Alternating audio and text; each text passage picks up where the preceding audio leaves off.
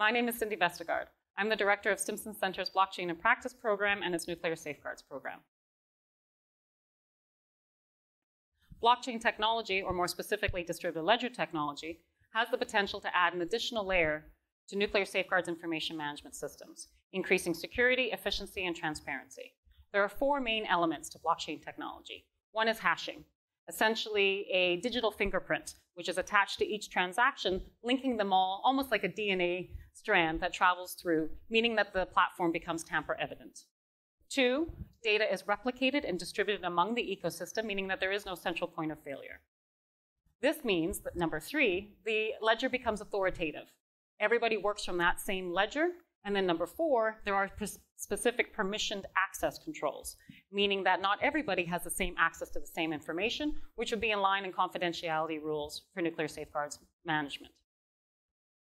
In collaboration with STUK, Finland's nuclear regulator, and the University of New South Wales in Sydney, Australia, we developed SLAFKA, the world's first blockchain prototype for nuclear material safeguards information management. What you're going to see next is a demo, essentially a proof of concept, looking at how safeguards transactions can be handled by blockchain technology. Although fictional, SLAFKA is based on Finland's national system of accounting for nuclear material. This system uses a database called SAFCA. So SLAFKA emerges from a shared ledger, SLAFKA. It is built in Hyperledger Fabric, which is a permission blockchain framework allowing membership and control over data and access. The SLAFKA ecosystem involves regulators and operators. On the operator side, there is PVO and FT Power, which are operators of nuclear power plants, and DGR.org, which is the Deep Geological Repository where spent nuclear fuel will be disposed of. On the regulator side, we have FINREG, RegionReg, and WorldReg. FINREG is the national regulator, or in the Finnish sense, that would be the Radiation and Nuclear Safety Authority, or STUK. Region Reg, Euratom, World Reg, International Atomic Energy Agency in Vienna, Austria. For the first transaction, we will demonstrate shipment domestic. We log in as FT Power, which is going to send a shipment to PVO. In the details, you can see the batch number is selected and the destination, PVO. And we have the ability to input the MBA and the KMP that it is coming from, as well as additional comments. In this case, we're going to make it a test shipment. We execute the transaction.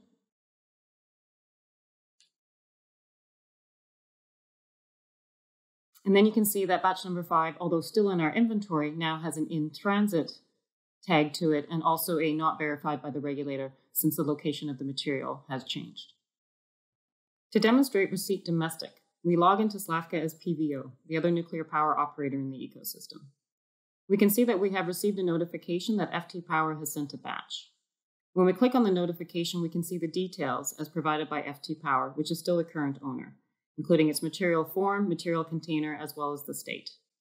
As the receiver, PVO can indicate the material balance area and the key measurement point. We can also add in comments, and in this case, PVO acknowledges that what it has received physically is also the same thing that is reflected on the ledger. We receive the test batch and we execute the transaction.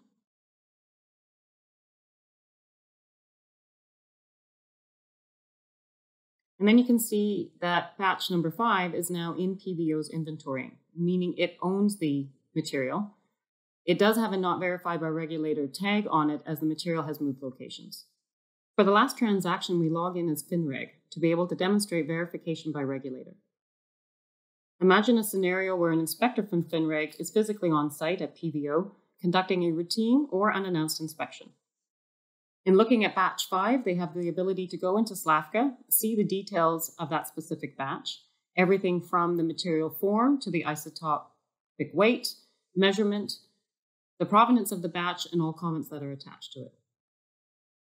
In this case, the inspector confirms that what is on the ledger is also what is physically verified. And then it can click the verify button. Before we do that, though, just to show you what FINREG has the ability to see on SLAFKA, it's very different than for our, the other nuclear operators. FINREG has the ability to look at the inventory in every operator, whether it be DGR.org, PVO, or FT Power. It can also query specifically by specific MBAs, or also when a nuclear material was last transacted. So in this case, on site, the inspector can click the verify button, And then batch number five, which is in PVO's inventory, shows up with a tag verified by regulator. To ensure compliance with confidentiality rules for nuclear material, operators and regulators have access to different types of information. The permissions in SLAFKA allow operators to fully see their own inventories, but not the inventory of another operator. They also have the ability to query and to transact. Regulators have the ability to see inventory in every operator. They have full oversight, full access, also the ability to verify and to query. As you can see, SLAFKA is a new way of reporting. Instead of the current one way, too often paper based system, from operator to national or regional regulator to the International Atomic Energy Agency in Vienna, SLAFKA is a network system, essentially where operators transact among each other and regulators have full oversight of the transactions. Next step is to look at other aspects of nuclear material accounting and control, such as transport of nuclear materials nationally and internationally, to bilateral nuclear cooperation agreements and export controls. It's been a pleasure to work with STUK and University of New South Wales, and we look forward to building on SLAFKA to demonstrate the potential of the technology in real-world applications.